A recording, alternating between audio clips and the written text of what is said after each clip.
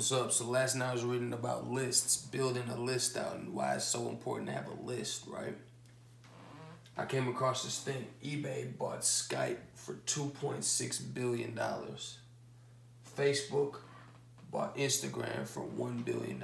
I'm thinking, like, logically, like, why would they do something like that? I forgot, I think Skype had like 600,000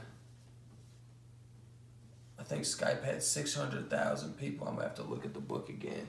Instagram had 30 million. Right? I have to look at the Skype number again.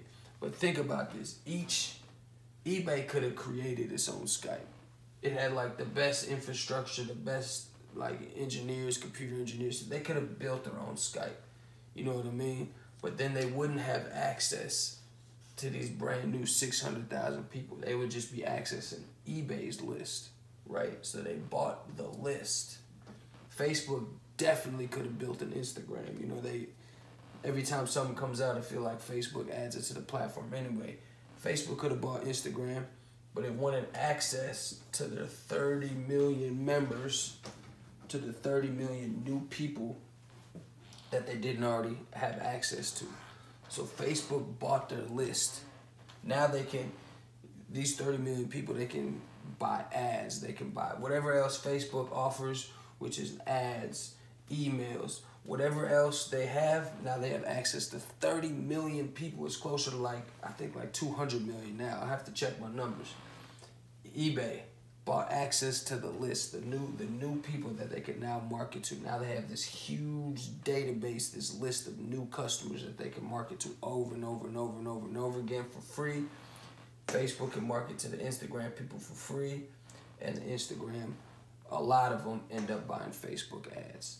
I don't know what else eBay sells. Maybe six hundred, maybe a, a fraction, a good amount of those six hundred thousand sell their stuff on eBay. Now eBay gets a cut of that or eBay had some back end things. But what they both did, they both ended up buying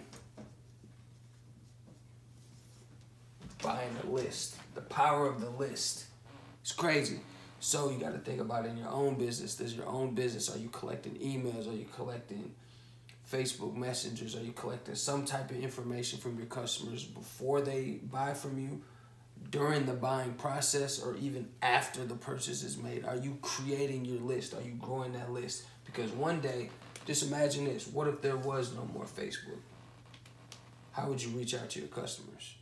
What if there was no more Instagram? How would you reach out to your customers? You'd have to rely on your list your list of people. That's the asset that people buy. Your subscribers, your members, your list. That's what people, that's what makes the, the business that you create so attractive.